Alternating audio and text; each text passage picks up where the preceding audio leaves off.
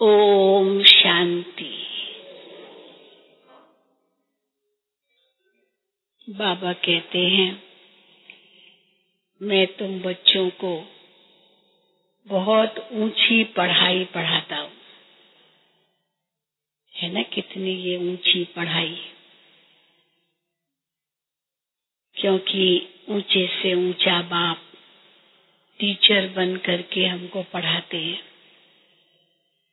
और जितनी ऊँची पढ़ाई होती है, उतना ही फिर ऊँचा लक्ष्य भी होता है।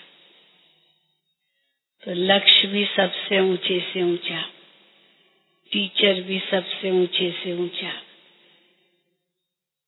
मानव से देवता बनते हैं। इनसे कोई ऊँचा लक्ष्य हो ही नहीं सकता है। परसों भी बाबा ने कहा कि तुम्हारे इस पढ़ाई में कमाई बहुत है। कितनी कमाई करते हैं हर कदम पर। एक एक ज्ञान रत्न की वैल्यू कर सकते हैं, लाखों की है। और वही सच्चे रत्न बन जाते हैं भविष्य में। तो ये पढ़ाई कमाई है और क्या क्या है? सफ़ाई है, सफ़ाई भी है, सफ आत्मा साफ़ हो जाती है। चढ़ाई भी है, क्योंकि बहुत ऊँचा चढ़ना पड़ता है इसमें। और साथ साथ ये लड़ाई भी है है ना? बहुत कुछ है। कमाई, सफ़ाई, चढ़ाई, लड़ाई, और भी कई बातें जोड़ सकते क्या क्या इसके साथ जुड़ती हुई। पर बाबा कहते हैं, इस पढ़ाई में जो चार सब्जेक्ट्स है, ज्ञान, योग, धारणा, सेवा चारों में ही कमाई है, पर लड़ाई चारों में नहीं है। ज्ञान में कोई लड़ाई की बात ही नहीं है। ज्ञान तो बहुत ऊँचा है, बहुत सुंदर है। इसमें लड़ाई की बात नहीं है, क्योंकि इस समय तुम्हारी माया से लड़ाई है। तो माया लड़ाई, इस लड़ाई में ज्ञान में इंटरफेयर नहीं करती। ज्ञान तो बहुत क्या नहीं मनन चिंतन करके सुना सकते, दुनिया में भी बहुत कुछ सुनाते हैं। तो लड़ाई किसमें है यहाँ? किस सब्जेक्ट में? हम्म? याद में, योग में। वो इसी में ही लड़ाई है और माया उसी में विघ्न डालती है। तुम याद में बैठते हो और माया कहाँ से कहाँ ले जाती है? अंदर ही अंदर लड़ाई चलती है। फिर बाबा को लिखते भी हैं बच्चे, बाबा, ये माया मुझे बहुत तंग करती है।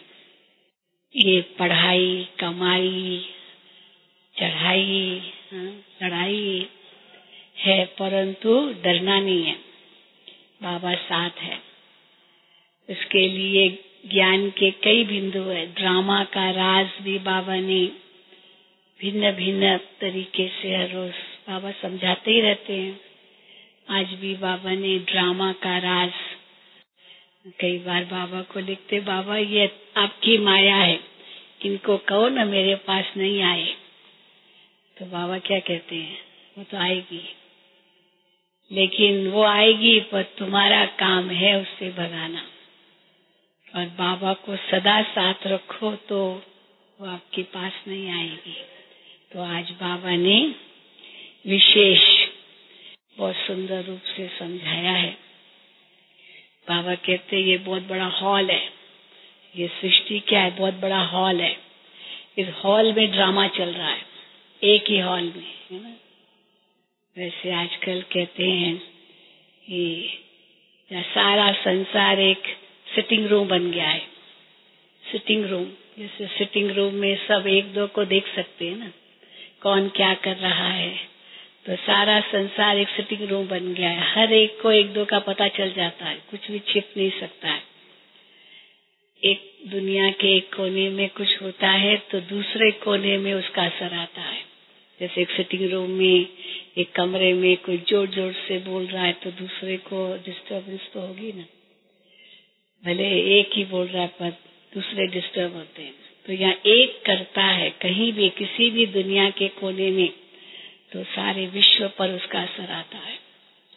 तो बाबा कहते हैं, पर इस ड्रामा को ड्रामा समझो, खेल समझो। न घबराओ, न डरो, न चिंता करो, कुछ भी ज़रूरत नहीं है। बस खेलते रहो। अच्छे से अच्छा पाठ बजाओ। तो ये बाबा ने आज विशेष इस पर ध्यान दिया है। आज 22 बारह 2014 है। मीठे बच्चे, सारा मदार याद पर है। याद से ही तुम मीठे बन जाएँगे। याद से मीठे बन जाएँगे। इस याद में ही माया की युद्ध चलती है।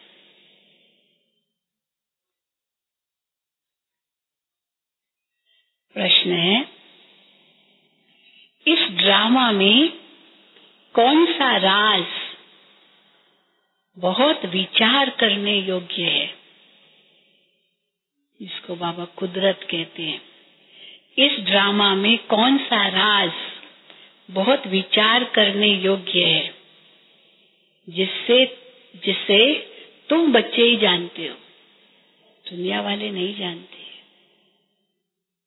तो कौन सा ऐसा राज जो बहुत विचार करने योग्य है ड्रामा में? और हम बच्चे ही जानते हैं।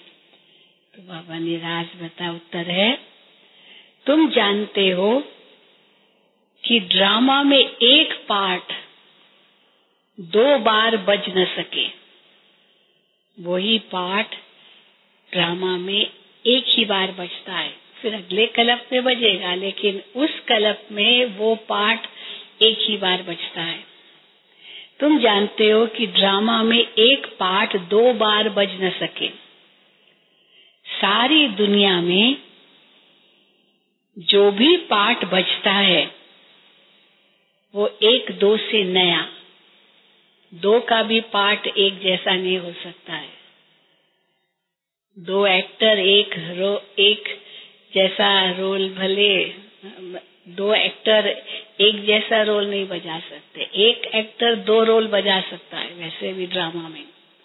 पर दो एक्टर एक जैसा ही रोल नहीं बजाएँगे, फ़र्क पड़ जाएगा, पता चल जाएगा।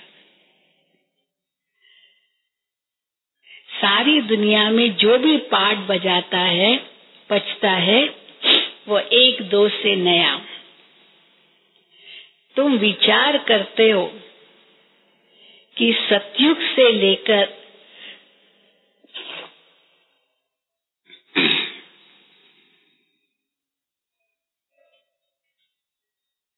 तुम विचार करते हो कि सतयुग से लेकर अब तक कैसे दिन बदल जाते हैं? सारी एक्टिविटी बदल जाती है। सोचो, सतयुग में क्या एक्टिविटी थी और अभी क्या एक्टिविटी है? सारी एक्टिविटी बदल जाती है। आत्मा में पाँच हज़ार वर्ष की एक्टिविटी का, यानी व्यवहार का रिकॉर्ड भरा हुआ है, जो कभी बदल नहीं सकता है। अगले कलप में वही बजेगा। ये छोटी सी बात तुम बच्चों के सिवाय और किसी की बुद्धि में नहीं आ सकती। नहीं आती, इसीलिए प्रश्न करते ऐसा क्यों? ऐसा क्यों? ये क्यों हुआ? ये कैसे क्यों? बाबा कहते तुम बच्चे कभी ये क्वेश्चन नहीं करेंगे। क्यों? ओम शांति। रूहानी बाप रूहानी बच्चों से पूछते हैं, मीठे मीठे बच्चे, तुम अपना भविष्य का पुरुषोत्तम मुख पुरुषोत्तम मुख, देवताओं का मुख चेहरा, पुरुषोत्तम चोला देखते हो? ये पुरुषोत्तम संगम युग है ना। तुम फील करते हो कि हम फिर नई दुनिया सतयुग में इनकी वंशावली में जाएँगे लक्ष्मी नारायण की। जिसको सुखधाम कहा जाता है, वहाँ के लिए ही तुम अभी पुरुषोत्तम बन रहे हो। बैठे बैठे ये विचार आना चाहिए। स्टूडेंट जब पढ़ते हैं तो उनकी बुद्धि में ज़रूर रहता है कल हम ये बनेंगे। वैसे तुम भी यहाँ जब बैठते हो तो भी जानते हो कि हम विष्णु की डेनाइस्टी में जाएँगे। तुम्हारी बुद्धि अब अब कहते अलौकिक बन गई है। अलौकिक रूप से नहीं सोचते, अलौकिक बन गई है। और किसी मनुष्य की बुद्धि में ये बातें रमण नहीं करती होगी। ये कोई कॉमन सत्संग नहीं है, जहाँ तुम बैठे हो। यहाँ बैठे हो और समझते हो कि सत बाबा, जिसको शिव कहते हैं, हम उनके संग में बैठे हैं। शिव बाबा ही रचयिता है। वही इस रचना के आदि मध्य अंत को जानते हैं।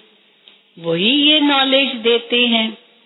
जैसे वही ये नॉलेज देते जैसे कल की बात सुनाते। भले सत्युग की बातें सुनाएँगे, लेकिन ऐसे सुनाएँगे जैसे कल की बात सुनाते। हैं यहाँ बैठे हो, ये तो याद होगा ना। हम आए हैं। क्यों आए हैं बाबा के पास? हम आए हैं रिजुविनेट होने। से कोई पुरानी चीज़ को नया बनाया जाता है रिजुविनेट होने। अर्थात ये शरीर बदल, दैवी शरीर लेने। आत्मा कहती है, हमारा ये तमो प्रधान पुराना शरीर है। इसको बदल कर ऐसा शरीर लेना है। बाबा के आगे लक्ष्मी नारायण का चित्र है। ऐसा शरीर लेना है। कितनी सहज एम ऑब्जेक्ट है। और पढ़ाने वाला टीचर ज़रूर पढ़ने वाले स्टूडेंट से होशियार होगा ना?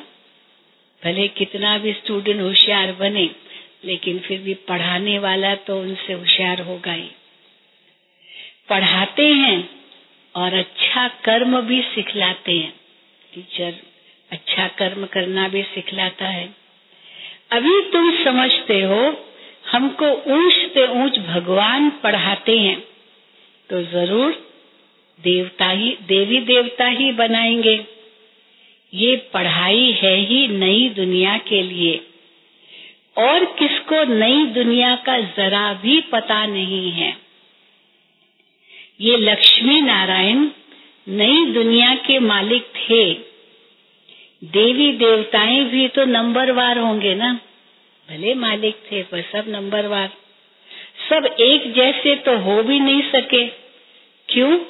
क्यों सब एक जैसे हो नहीं सके? क्योंकि राजधानी है ना। ये ख्यालात तुम्हारे चलते रहने चाहिए। हम आत्मा अभी पतित से पावन बनने के लिए पावन बाप को याद करते हैं। आत्मा ही याद करती है। आत्मा अपने स्वीट बाप को याद करती है। बाप खुद कहते हैं, तुम मुझे याद करेंगे तो पावन सतो प्रधान बन जाएँगे। सारा मदार याद की यात्रा पर है। बाप ज़रूर पूछेंगे ना। बच्चे, शिव बाबा पूछेंगे, लौकिक बाप ऐसे नहीं पूछेगा। शिव बाबा पूछेंगे, बच्चे मुझे कितना समय याद करते हो? लौकिक में थोड़ी पूछा जाता है, तुम कितना समय मुझे याद करते हो? पारलौकिक बाप पूछते हैं, तुम मुझे कितना समय याद करते हो? याद की यात्रा में ही माया की युद्ध चलती है। तुम इस युद्ध को भी समझते हो। कोई बाहर से कोई युद्ध दिखाई नहीं देती है पर समझते हो इस युद्ध को। ये यात्रा नहीं परंतु जैसे कि लड़ाई है, हम कहते याद की यात्रा, पर बाबा कहते ये यात्रा तो बहुत सुंदर शब्द है, पर बैठे एक जगह, यात्रा करे, पर जैसे लड़ाई, अंदर ही अंदर, माया से युद्ध। इसमें ही बहुत खबरदार रहना है। नॉलेज में माया के तूफ़ान आदि की तो बात ही नहीं है, ज्ञान में नहीं आएँगे माया के तूफ़ान। बच्चे कहते भी हैं, बाबा हम आपको याद करते हैं, परंतु माया का एक ही तूफ़ान नीचे गिरा देता है। एक तूफ़ान आया, बस नीचे गिरा दिया। नंबर वन तूफ़ान है दे अभिमान का। फिर है काम, क्रोध, लोभ, मोह का। बच्चे कहते हैं, बाबा हम बहुत कोशिश करते हैं याद में रहने की। को, कोई विघ्न न आए हाँ ये लक्ष्य रखते हैं। परंतु फिर भी तूफ़ान आ जाते हैं। कौन से आते हैं तूफ़ान? आज क्रोध का कभी लोभ का तूफ़ान आया। आ जाता है ना तूफ़ान आ जाता है। कभी बाबा विकारों को भूत कहते कभी हाँ, क्या कहते आज बाबा ने तूफ़ान कहा है। आज क्रोध का कभी लोभ का तूफ़ान आया। बाबा हाँ फिर बच्चे बाबा को लिखते हैं बाबा आज हमारी अवस्था बहुत अच्छी रही। कभी लिखते हैं और हाँ अच्छी होगी तो वो भी बाबा को लिखेंगे। बाबा आज हमारी अवस्था बहुत अच्छी रही। कोई भी तूफ़ान सारा दिन नहीं आया। हम्म, ऐसे लिखते हैं बाबा को। कोई भी तूफ़ान सारा दिन नहीं आया। बड़ी खुशी रही। बाप को बड़े प्यार से याद किया। स्नेह के आँसू भी आते रहे। हाँ ऐसे है अनुभव। याद की यात्रा से ही या, बाप, बाप की याद से ही बहुत मीठे बन जाएँगे। ये भी समझते हैं हम माया से हार खाते खाते कहाँ तक आकर के पहुँचे हैं? अब ये कोई समझते थोड़ी है दुनिया में। दुनिया वाले भी सब माया से हार खाते खाते कहाँ तक पहुँचे, पर वो समझते थोड़ी है। मनुष्य तो लाखों वर्ष कह देते हैं या परंपरा कह देते हैं। माया भी परंपरा से ये विकार भी परंपरा से, दुख भी परंपरा, सब परंपरा। तुम कहेंगे, हम फिर से अभी मनुष्य से देवता बन रहे हैं। ये नॉलेज बाप ही आकर के देते हैं। विचित्र बाप ही विचित्र नॉलेज देते हैं।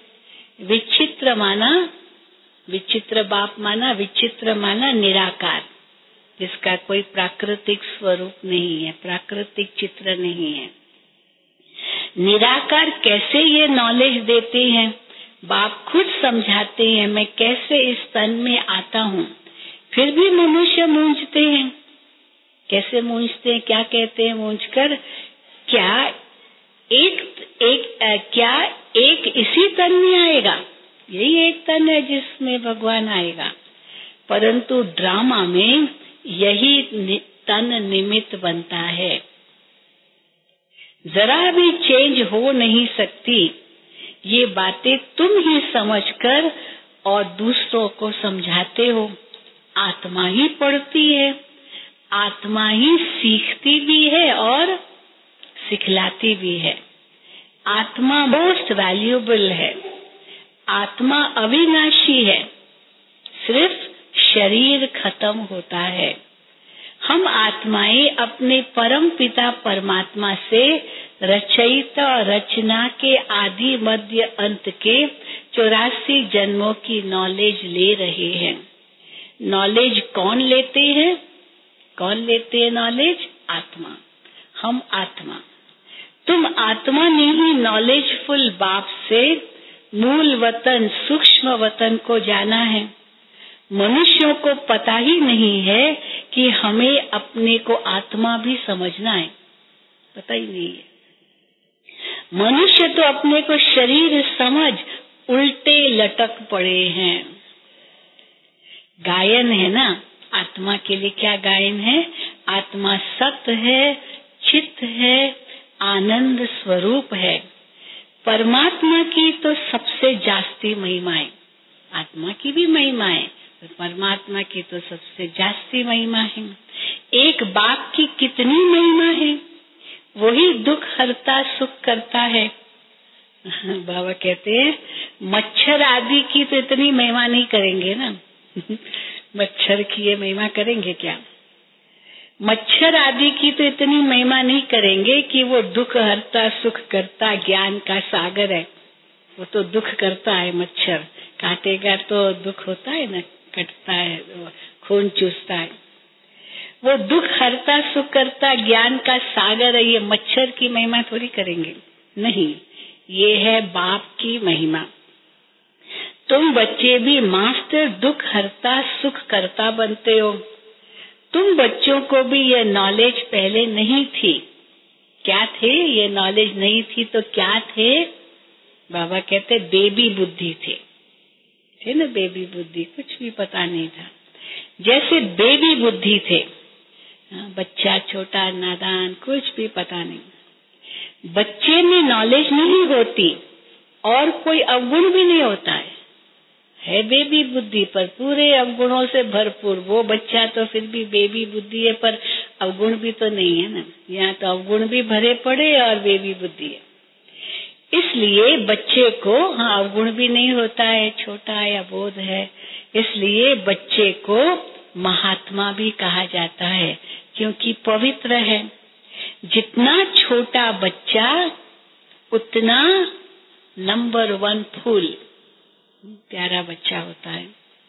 बिल्कुल ही जैसे अब नंबर वन फूल, जितना छोटा बच्चा, बिल्कुल इनोसेंट बाबा कहते हैं, कैसे? जैसे कर्मातीत अवस्था। अब छोटा बच्चा है, कर्मातीत अवस्था है, ऐसे ही कहेंगे। कर्म अकर्म विकर्म को कुछ भी नहीं जानते। इसलिए वो फूल है। सबको कशिश करते हैं। जैसे एक बाप सभी को कशिश करते हैं तो छोटा बच्चा भी सबको कशिश करता है। बाप आए ही हैं सभी को कशिश कर हाँ, खुशबूदार फूल बनाने। सबको कशिश कर खुशबूदार फूल बनाने। कई तो कांटे के कांटे ही रह जाते हैं। पाँच विकारों के वशीभूत होने वाले को क्या कहा जाएगा? पाँच विकारों के वशीभूत होने वाले को कांटा कहा जाएगा। कांटे के कांटे ही रह जाते हैं। कांटा कहा जाता है, नंबर वन कांटा है दे अभिमान का। अब ये कांटा। पहले बाबा ने कहा, ये तूफ़ान। अभी बाबा कहते कांटा। हाँ ये भी एक लिस्ट बन सकती है। विकारों को बाबा किस किस से भेंट करते हैं। नंबर वन कांटा है दे अभिमान का, जिससे और कांटों को जन्म हो और कांटों का जन्म होता है। कांटों का जंगल बहुत दुख देता है। किस्म किस्म के कांटे जंगल में होते हैं ना, इसलिए इसको दुख धाम कहा जाता है। नई दुनिया में कांटे नहीं होते हैं, इसलिए उसको सुख धाम कहा जाता है। शिव बाबा फूलों का बगीचा लगाते हैं और रावण कांटों का जंगल लगाते हैं। इसलिए रावण को कांटों की झाड़ियों से जलाते हैं। रावण को कैसे जलाते? इतना बड़ा बुत तो पहले वो लकड़ी लेंगे, बड़ी कांटों की लकड़ी होगी। मतलब लकड़ी में कांटे तो होते ही हैं। और उसके ऊपर वो कपड़ा डाल कर लगा करके उसको केरोसिन से डिबोएँगे और आग लगेंगे और रावण को जलाएँगे। ऐसे ही करेंगे। तो बाबा कहते, जैसे इसलिए रावण को कांटों की झाड़ियों से जलाते हैं और बाप पर फूल चढ़ाते हैं। देखो कितना अंतर। इन बातों को बाप जाने और बच्चे जाने, और न जाने कोई। तुम बच्चे जानते हो, अब ड्रामा का राज। तुम बच्चे जानते हो, ड्रामा में एक पाठ दो बार बज न सके। ऐसे नहीं एक व्यक्ति के द्वारा दो बार बज न सके, पर उस जैसा और कोई भी बजा न सके। ड्रामा में एक पाठ दो बार बज न सके। बुद्धि में है, सारी दुनिया में जो पाठ बजता है, वह एक दो से नया। तुम विचार करो, क्या विचार करो? सत्युग से लेकर अब तक कैसे दिन बदलता जाता है? सारी एक्टिविटी ही बदल जाती है। पाँच हज़ार वर्ष की एक्टिविटी का रिकॉर्ड आत्मा में भरा हुआ है। सब कुदरत है ये। ये कभी बदल नहीं सकता। हर आत्मा में अपना अपना पाठ भरा हुआ है। ये छोटी सी बात भी कोई की बुद्धि में आ न सके। इसको बताओ तो तो अचरज खाएगा। ऐसे कैसे है छोटी सी बात? ड्रामा के पास्ट, प्रेजेंट और फ्यूचर को तुम जानते हो। ये स्कूल है ना? पवित्र बन बाप को याद करने की पढ़ाई बाप पढ़ाते हैं। ये बातें कभी सोची थी क्या? कि बाप आकर ऐसे पतित से पावन बनाने की पढ़ाई पढ़ाएँगे? कभी सोचा था ऐसे? इस पढ़ाई से ही हम विश्व के मालिक बनेंगे, ऐसे सोचा था? भक्ति मार्ग के पुस्तक ही अलग है। जब पहली बार आते हैं बाबा के पास चलो कोर्स करना है तो उनसे पूछते आप क्या चाहते हो? बस कहते शांति चाहिए। कहेंगे योग सीखना है बस। हाँ, विश्व का मालिक बनने के लिए आए कभी सोचा था पहले दिन जब आए बाबा के पास सेंटर पर। इस पढ़ाई से हम विश्व के मालिक बनेंगे। भक्ति मार्ग के पुस्तक ही अलग हैं। इस, उसको, भक्ति मार्ग के पुस्तक को कभी भी पढ़ाई नहीं कहा जाता है। ज्ञान के बिना सदगति हो भी कैसे? बाप बिना ज्ञान कहाँ से आए? जिससे सदगति हो। सदगति में जब तुम होंगे, तब क्या होगा? तुम जब सदगति में होंगे, तब भक्ति करेंगे? नहीं। वहाँ है ही अपार सुख। फिर भक्ति किस लिए करें? ये ज्ञान अभी ही तुमको मिलता है। सारा ज्ञान आत्मा में रहता है। आत्मा का कोई धर्म नहीं होता। अब ये धर्म की बात आती है आजकल भारत में। धर्म के ऊपर बहुत झगड़ा चल रहा है।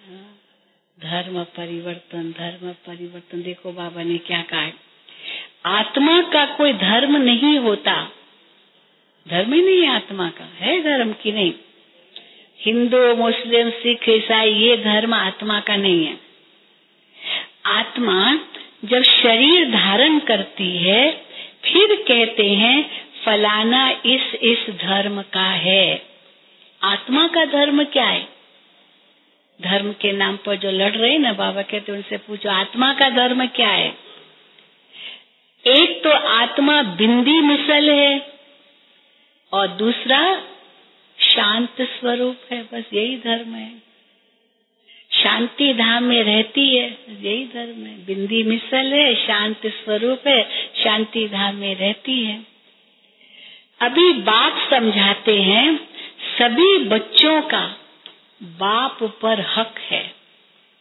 सभी बच्चों का बाप पर हक है।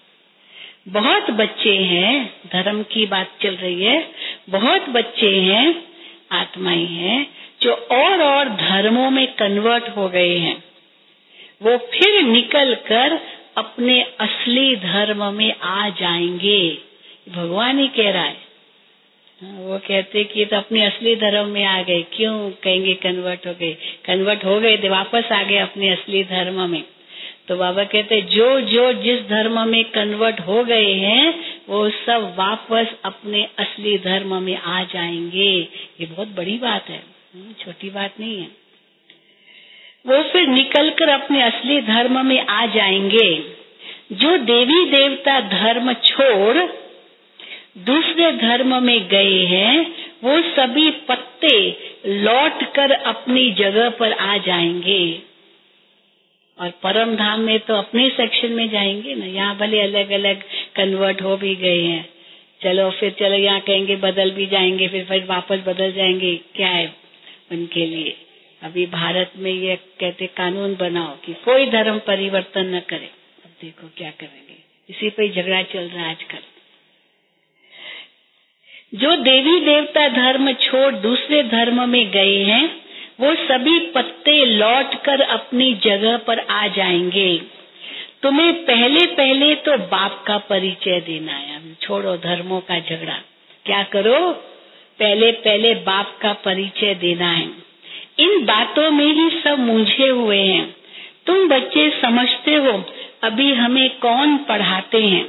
बेहद का बाप। कृष्ण तो देधारी है। इनको यानी ब्रह्मा बाबा को दादा कहेंगे, देवता थोड़ी कहेंगे, मनुष्य है, दादा है, बड़ा भाई है। तुम सभी भाई भाई हो ना, फिर है मर्तबे के ऊपर। भाई भाई तो सभी हो पर कोई भाई का मर्तबा ज़्यादा, कोई का कम। भाई का शरीर कैसा है, बहन का शरीर कैसा है, मेल का शरीर, फीमेल का शरीर। आत्मा तो एक छोटा सितारा है इतनी सारी नॉलेज एक छोटे से सितारे में है। सितारा, अभी आत्मा छोटा सा सितारा, शरीर के बिगड़ बात भी नहीं कर सकता है।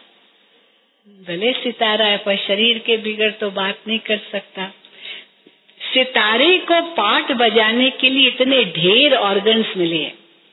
शरीर में कितने ऑर्गन्स है? पाठ बजाने लिए आत्मा को इतने सारे ढेर ऑर्गन्स मिले, सितारे को पाठ बजाने के लिए। तुम सितारों की दुनिया ही अलग है। सितारों की दुनिया अलग है। आत्मा यहाँ आकर फिर शरीर धारण करती है। शरीर छोटा बड़ा होता है। आत्मा ही अपने बाप को याद करती है। वो भी जब तक शरीर में है। जब तक शरीर में है, तब तक बाप को याद करती है। घर में आत्मा बाप को याद करेगी, परम धाम में आत्मा शिव बाबा को याद करेगी। जो समझते करेगी, हाथ उठाओ, बाबा पूछ रहे करेगी? कोई नहीं करेगा शिव बाबा को याद, परम धाम में। अच्छा? घर में आत्मा बाप को याद करेगी? नहीं। हाँ बाबा ने कहा, नहीं। वहाँ कुछ भी मालूम नहीं पड़ता हम कहाँ हैं। आत्मा को पता पड़ेगा मैं बाबा के साथ हूँ, परम धाम में नहीं। वहाँ कुछ भी मालूम नहीं पड़ता हम कहाँ हैं। आत्मा और परमात्मा दोनों जब शरीर में है, तब आत्मा और परमात्मा का मेला लगता है, मेला कहा जाता है। शिव बाबा भी शरीर में आते आत्माएँ भी अपने शरीर में है, तब मेला लगता है। गायन भी है, आत्मा और परमात्मा अलग रहे, बहुकाल कितना समय अलग रहे? याद आता है कितना समय अलग रहे? सेकंड सेकंड पास होते होते पाँच हज़ार वर्ष बीत गए हैं। ख्याल तो करो, कैसे सेकंड सेकंड पास होते होते पाँच हज़ार वर्ष बीत गए फिर वन नंबर से शुरू करना है। एक्यूरेट हिसाब है। अभी तुमसे कोई पूछे इसने कब जन्म लिया था? लक्ष्मी नारायण सामने इसने इन्होंने कब जन्म लिया था? तो तुम एक्यूरेट बता सकते हो ना? श्री कृष्ण ही पहले ज, नंबर में जन्म लेता है। हाँ, कृष्ण भी वहीं पर है वो उसका भी ट्रांसलाइट बाबा के सामने। श्री कृष्ण ही पहले नंबर में जन्म लेता है। शिव का तो कुछ भी मिनट, सेकंड नहीं निकाल सकते। शिव बाबा की कोई जन्म पत्री नहीं निकाल सकते। कब आए, कब जाते हैं। शिव का तो कुछ भी मिनट, सेकंड नहीं निकाल सकते। कृष्ण के लिए तिथि, तारीख, मिनट, सेकंड निकाल सकते हैं। जन्म पत्री में ये सब चाहिए। मनुष्यों की घड़ी में फ़र्क पड़ सकता है। अब ये दूसरी बात। भगवान आते हैं तो इस ड्रामा में कोई फ़र्क नहीं पड़ सकता। ये इन घड़ियों में देखो फ़र्क है। कौन, ये क्या दिखाता है, वो क्या दिखाता है, वो क्या दिखाता है। हर घड़ी में अलग अलग टाइम होता है। सबकी घड़ी, लेकिन बाबा कहते हैं, मनुष्यों की घड़ी में फ़र्क पड़ सकता है, पर शिव बाबा के अवतरण में तो बिल्कुल फ़र्क नहीं पड़ सकता। पता ही नहीं पड़ता कब आया। ऐसे भी नहीं ऐसे भी नहीं कि साक्षात्कार हुआ तब आया। शिव बाबा ने कब प्रवेश किया ब्रह्मा बाबा के तन में, ये बाबा को पता ही नहीं चला। ऐसे नहीं कि जब उनको साक्षात्कार हुआ तभी प्रवेश हुआ, पहले हुआ होगा, लेकिन हाँ बाबा को पता नहीं चला। ऐसे नहीं कि साक्षात्कार हुआ तब आया, नहीं, अंदाज़ा, अंदाज लगा सकते हैं। मिनट, सेकंड का हिसाब नहीं बता सकते। उनका अवतरण भी अलौकिक है। वो आते ही है बेहद की रात के समय। बाकी और भी जो अवतरण आदि होते हैं, उनका तो पता पड़ता है। अचानक उनको एनलाइटनमेंट हो गई एकदम। जैसे कि बोध हो जाता है कि ज्ञान अचानक आ गया। कैसे आ गया अचानक? वो आत्मा ने प्रवेश किया। पर शिव बाबा कैसे आया? ब्रह्म बाबा को पता नहीं चला। किसी को पता नहीं चला।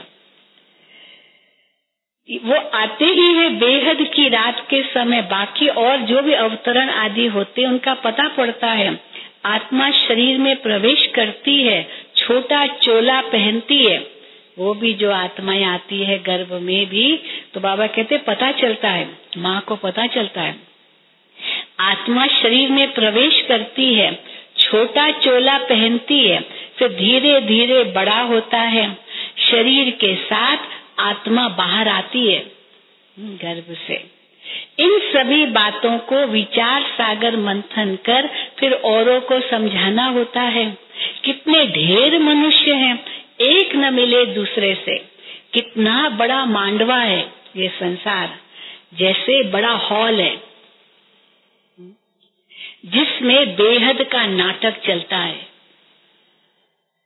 तुम बच्चे यहाँ आते हो नर से नारायण बनने के लिए। बाप जो नई सृष्टि रचते हैं, उसमें ऊंच पद लेने के लिए। बाकी ये जो पुरानी दुनिया है, वो तो विनाश होनी ही है। बाबा द्वारा नई दुनिया की स्थापना हो रही है। बाबा को फिर पालना भी करनी है। हुँ? बाबा को पालना भी करनी है। ज़रूर जब ये शरीर छोड़े ब्रह्मा बाबा के द्वारा स्थापना। फिर ये जब शरीर छोड़े, तब फिर सतयुग में नया शरीर लेकर पालना करे। विष्णु रूप में, नारायण रूप में। उसके पहले इस पुरानी दुनिया का विनाश भी होना है। भंबोर को आग लगेगी। पीछे यह भारत ही रहेगा, बाकी तो खलास हो जाएँगे। ये किसने हमको बताया? कराची, पाकिस्तान में भंबोर एक शहर है। बाबा कहते हैं ना भंबोर को आग लगेगी। तो भंबोर एक शहर है और उस भंबोर शहर को आग लगी थी। उस हिसाब से तो उन्होंने बताया, भंबोर को आग लगी माना वो एक शहर का नाम था जिसको आग लगी। पर हम तो ये कहेंगे सूखे घास का जो ये होता है, वो वो जोड़ कर रखते हैं, उसको आग लगती है। पर भंबोर भी एक शहर था, या अभी भी है, पाकिस्तान में है, जिसको आग लगी थी। तो भंबोर को आग लगेगी, पीछे ये भारत ही रहेगा, बाकी तो खलास हो जाएँगे। भविष्यवाणी भगवान कर रहे हैं। भारत में भी थोड़े बचेंगे। तुम अब मेहनत कर रहे हो कि विनाश के बाद फिर सजाएँ न खाएँ। अगर विकर्म विनाश नहीं होंगे तो सजाएँ भी खाएँगे। और और क्या होगा? पद भी पद भी नहीं मिलेगा। तुमसे जब कोई पूछते हैं, तुम किसके पास जाते हो? कोई पूछते तुम किसके पास जाते हो? तो बोलो, शिव बाबा के पास, जो ब्रह्मा के तन में आया हुआ है। ये ब्रह्मा कोई शिव नहीं है।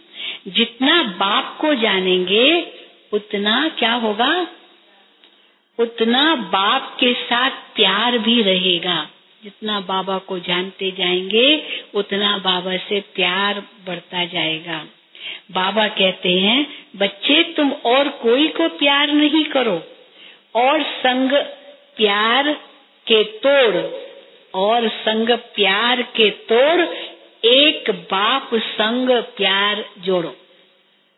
है ना? कितनी अच्छी बात। जैसे आशिक माशिक होते हैं ना, ये भी ऐसे है। 108 ही सच्चे आशिक बनते हैं।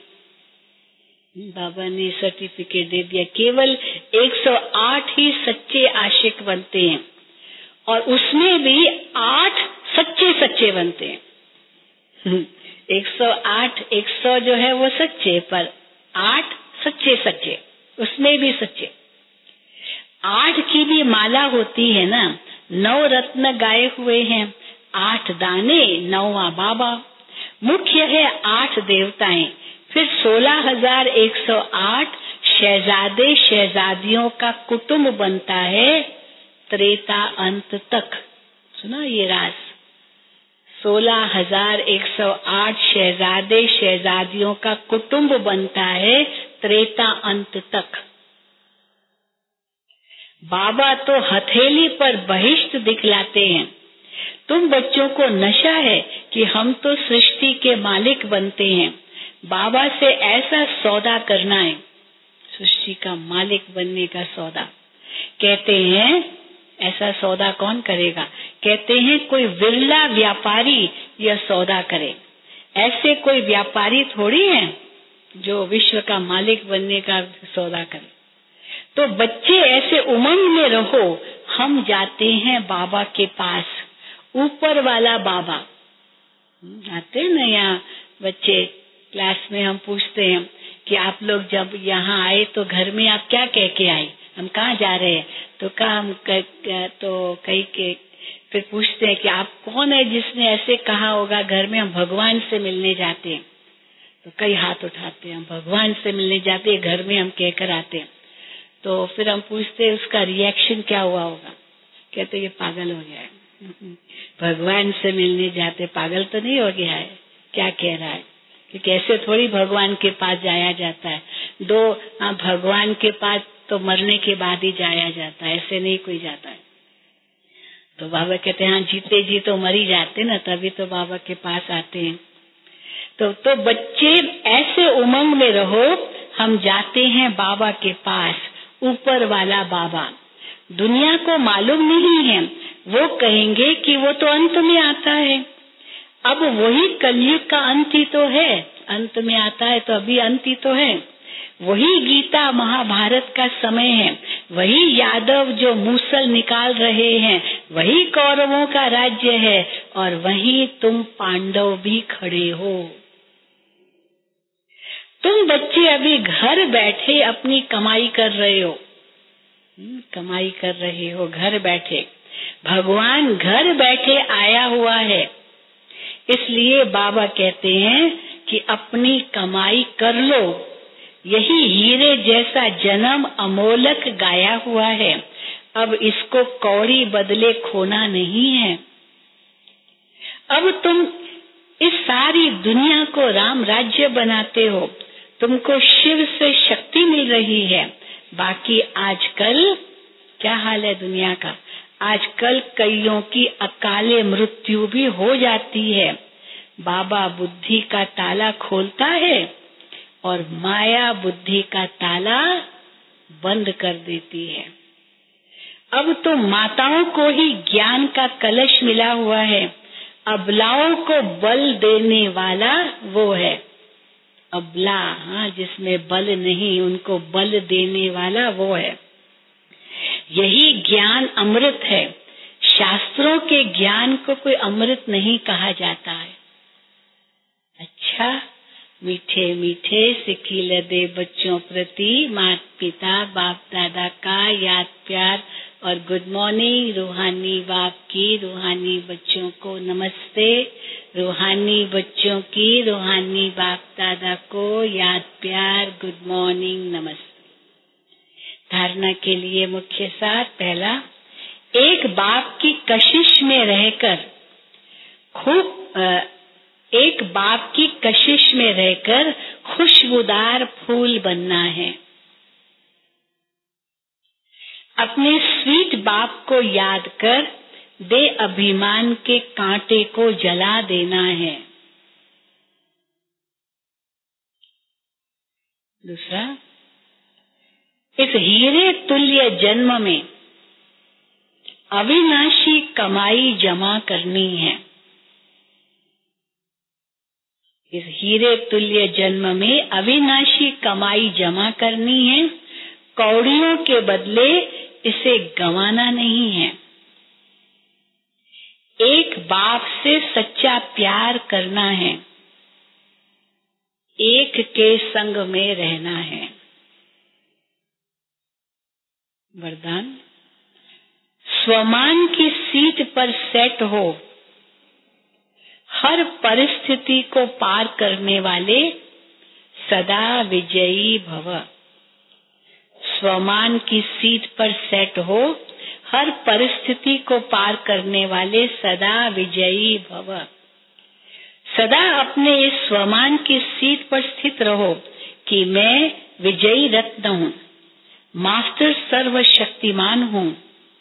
तो जैसी सीट होती है वैसे लक्षण आते हैं। कोई भी परिस्थिति सामने आए तो सेकंड में अपने इस सीट पर सेट हो जाओ। कौन सी सीट मैं मास्टर सर्वशक्तिवान हूँ। सीट वाले का ही ऑर्डर माना जाता है। सीट पर रहो तो विजयी बन जाएँगे। संगम युग है ही सदा विजयी बनने का युग। ये वो आ, ये युग को वरदान है। विजयी बनना ये युग को वरदान है। तो वरदानी बन, विजयी बनो। स्लोगन, सर्व आसक्तियों पर विजय प्राप्त करने वाले शिव शक्ति पांडव सेना है। सर्व आसक्तियों पर विजय प्राप्त करने वाले शिव शक्ति पांडव सेना है।